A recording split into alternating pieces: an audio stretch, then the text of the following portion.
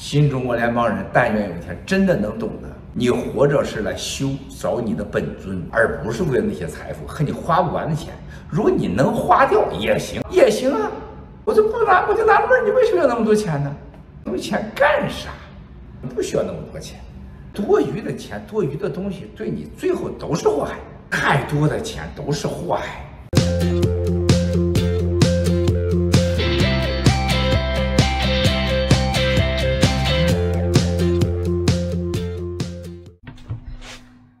大家好，欢迎您收看今天的节目。闲话少叙，直奔主题。我给大家介绍一下《纽约客》的著名作者埃文·奥斯纳斯他写的关于七哥的重磅报道啊。七哥是从哪里起家的呢？他来自山东鲁西北一个小山庄，叫西曹营村。那这个村子属于山东省的哪个县哪个市呢？是山东省聊城市的莘县。啊，莘这个字啊，就莘莘学子的莘啊，这个地方可不得了啊！我告诉大家，出过哪些名人，出过哪些故事，大家就知道这个地方的民风大概是怎么一个样子，这个地方的人们的精神面貌大概是怎么一个样子。为什么只有这个地方才培养出了七哥这样千年一遇的人才啊？为什么这个地方度过了童年生活的七哥，在美国今天花一亿美金买房子，连眼都不眨，而且生活的奢华程度？按照《华尔街日报》以及彭博社等权威财经媒体的说法，跟美国的超级富豪比起来，七哥都算是有钱人啊，过的生活啊太奢华了。为什么奢华？就说小时候穷啊，怕的啊。莘县地处山东西北部，是山东、河南、河北三省交界处啊。那么这地方出过很多名人啊。首先一位名人啊，就是《水浒传》里边的那个菜园子张青。啊，不熟悉《水浒传》的朋友可能想不起来张青是谁。张青就是孙二娘的老公啊！啊，《水浒传》里边的张青和母夜叉孙二娘开那个黑店啊，结交江湖好汉，平时没事儿就包那个人肉包子，就是发生在莘县啊。所以啊，这个，呃，七哥呀，从某种程度上来讲，是孙二娘和菜园子张青的老乡啊。张青和孙二娘是他的前辈。另外。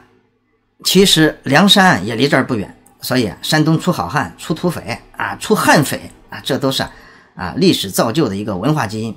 那我在山东莘县啊，在鲁西北有很多的朋友，他们当年就告诉我说：“你看，别看这个山东快书武松打虎啊，在全国这么流行，但是当年的民间艺人啊，走街串巷说书的时候，到了莘县这一带。”大家都不敢讲孙二娘卖人肉包子那个故事，因为啥？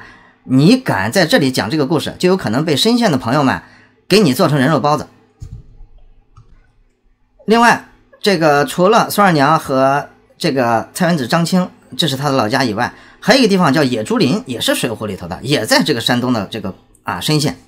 野猪林是干啥的？野猪林是水浒传里头啊八十万禁军总教头好汉林冲被高俅陷害以后。发配边疆啊，他是由汴京发配至沧州，路过野猪林，在这里啊化险为夷，绝处逢生啊，走上了啊武装起义夺取政权的道路。林冲啊，就是在野猪林产生了人生最大的改变的。所以你看这个地方啊，还是野猪林的故乡啊。当年《水浒传》里头啊啊有句诗四言啊，这个七言绝句啊讲讲的非常有意思。叫枯蔓层层如在脚，乔之郁郁似云头。不知天日何年照，唯有冤魂啊不断愁。啊，你看，唯有冤魂不断愁，在野猪林，在莘县，在鲁西北，在山东这个地方，啥都缺，就是不缺冤魂呐。当然，要再往前推啊，这个地方还出一位大名鼎鼎的军事家，叫孙膑。孙膑是谁？孙膑就是《孙子兵法》孙武的后代嘛。啊，他们也是这个地儿人。实际上孙武啊，是出生在今天啊山东的东营那一带，是当年的齐国啊。孙膑啊，就是在这个当今的这个聊城这一带，在这里生活过。他最著名的战役啊，就是在山东聊城，在这个莘县附近打的那场战斗，叫马陵之战啊。马陵之战，当年公元前三百四十一年，孙膑就是充分利用了啊。这个马陵道，这是山东莘县的一个地方，在那里啊啊，埋伏了骑兵，一举打败了骄纵的这个魏兵，导致魏军的主将庞涓就自杀于马陵道那个地方有一个啊高高的土缸子，人称黄桑缸啊。那里啊，据说当年还有一棵参天大树，庞涓就是在那棵树下自刎身亡的。据聊城当地人讲，这棵树啊现在还在啊，还当地群众啊也趁这个机会啊挣钱。所以你看，我给大家讲了这么多人，鲁西北黄土高原啊，就是这么一片神奇的土地。七哥就是在这里度过了他的童年时光，那真叫穷的是一个底儿掉啊！和这个七哥同等。级别的富豪，我认识好几个啊。他们说，当年七哥穷到什么程度啊？上吊都买不起绳子啊！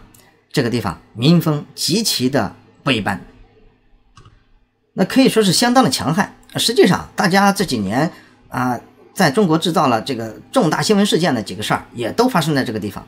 其实啊，丰县也和这个地方离得不远。你看，它是江苏、河南啊、山东、河北几个地方交界的地方，所以啊是。啊，这些地方都差不多，都差不多。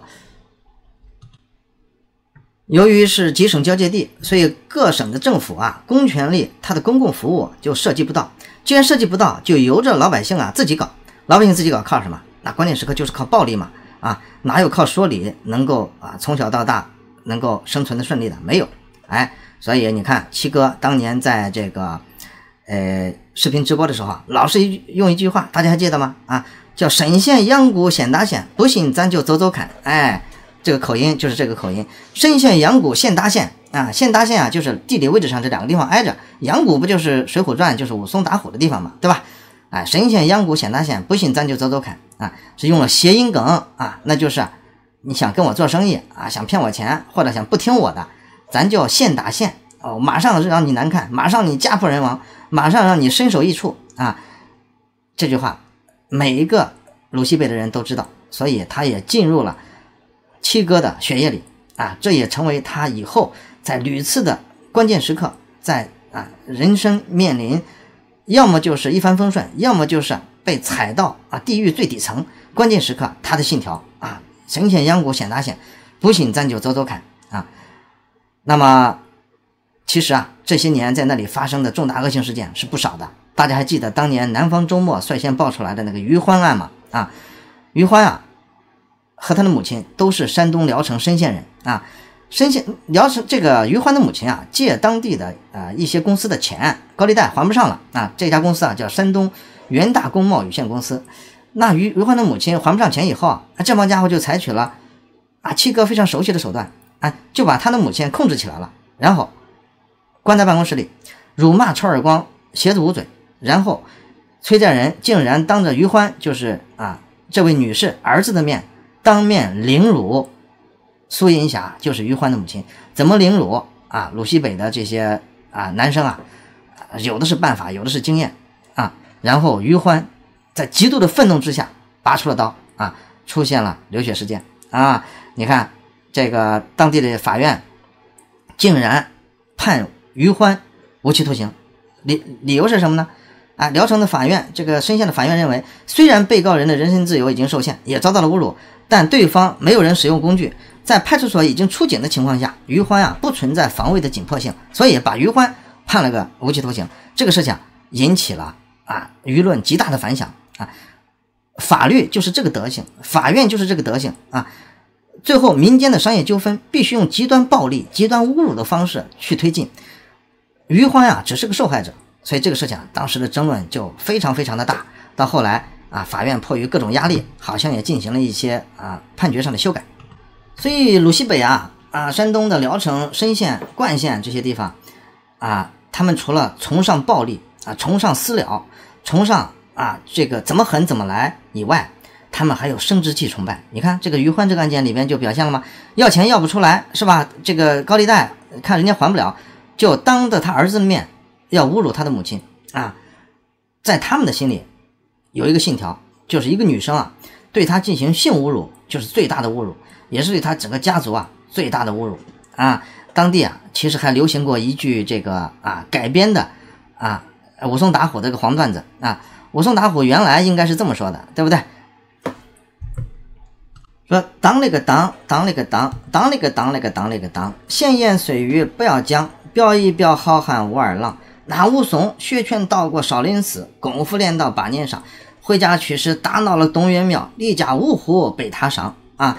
在家打死离家五虎那恶霸，好汉武松难打官司就奔了外乡，在外流浪一年整，一心回家去探望。手里拿着一个哨棒，包袱背到了肩膀上，顺着大道往前走，跟前来到一个村庄。嚯，村头有个小酒馆，风刮酒晃乱晃的。这边写着三家醉，那边写着三拆檀香。这边立着个大牌子，上写着“三碗不过岗”啊！什么叫三碗不过岗？小小的酒家说话狂。我武松生来爱喝酒，我到里边把这个好酒尝。好汉武松往里走，照着里边一打量，有张桌子坐前方，两把椅子列两旁。照着那边留神看，一拉溜的进酒缸。这武松把包袱放到了桌子上，又把哨棒立靠墙，说道：“酒家，拿酒来！酒家，拿酒来！酒家，你给我拿酒来！”连喊三声，没人搭腔。这个时候，买卖烧啊，掌柜的就在后边忙。有个小伙计还不在，肚子疼，拉稀上了茅房。这武松连喊三声，没人搭话，桌子一拍就开了枪。酒家拿酒来！大喊一声不要紧，我的个娘啊！只震的房子乱晃的，呼啦呼啦直掉土，震的那个酒缸嗡嗡嗡嗡的震耳旁。酒家出来留神看，什么动静？哦，好家伙，这个大个怎么这么长？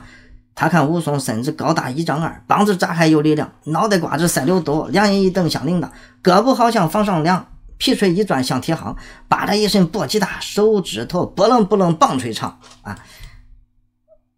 我就先讲到这儿。啊，后面就是武松打虎的这个正式的场景啊。结尾结在什么地方？说武汉武松啊，身子高大一丈二，膀子扎开有力量，这都是传统文学、传统文艺里面比较正常的描写手法。我刚才讲的这一段也都是在啊公开的演出场合里面能够公开演出的。但是这个聊城、深县、阳谷啊，鲁西北这帮家伙，他就把它编成了黄段子。哎呀，我非常熟悉。他们讲的啥呢？你看人家正式的文章里面。这个文本里面不说武松身高一丈二吗？啊，个子高。聊城啊，给他编成了这个：当了个当，当了个当，闲言碎语不要讲，表一表好汉武二郎，武二郎，武二郎，武二郎的家伙长，从北京到南阳，拐了个弯到高唐，又铺地又盖房，又当床来又当梁。你看。他就想象的男人最有能力的就是那个家伙长啊，从北京到南阳拐了个弯儿，到了高唐，高唐就是深县的一个地儿啊，这都是啊这个当地这些男人啊脑子里转的，要么就是我动刀子我弄死你，要么我就动下面我也弄死你啊，他们脑子里没有别的事儿，整个的文化基础就是这个熊样，所以七哥啊就是在这个环境里长大的啊。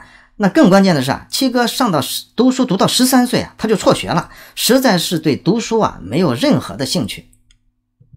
在那样一个环境里边，家里有八个孩子啊，为什么叫八个孩子啊？为什么叫郭七哥？就是因为他排行老七。哎，这么穷啊，这么落后啊，充斥着暴力，充斥着这个啊暴力的性文化的这个地方，一家里有八个孩子，很难想象父母怎么养他们，所以只能放任自流，只能啊。在自然状态中自己成长，这里面就冒出了七哥这么一个千古的奇才。他小时候，哎，没别的本事，就是会说啊，就是会说，舌头啊一直不停。那这个啊，《纽约客》的这个记者啊，这个啊，Evan Osnos。还采访了这个深陷的很多人，真的，咱不得不佩服西方这些记者，你看挖到了这些料都非常有意思。他采访了七哥当年小学的一个老师，那个那个老师想起来，哦，你说的是郭七啊？哎呦，那个人的嘴巴可会说了，他平时不干别的啊，除了打架就是赌博，要么就是啊追女孩，就这三件事儿啊，只有这三件事儿给老师留下了深刻的印象。当然，在十三岁、十二岁左右，七哥就辍学了啊。英雄啊，从来不问出处。啊，英雄落难也不需要讲原因，反正啊你是落难了啊。那七哥啊，当年在年纪轻轻十二三岁的时候就体现出来不一样的禀赋，这也是鲁西北这片土地啊培养出来的啊一朵鲜花啊，一千年出一次的人才用在七哥身上绝对不过分。所以当年啊七哥在美国刚刚冒出头来的时候，好多人很兴奋，哎呦呀，中国还能出这种人才啊，各方各面都以能和七哥结交。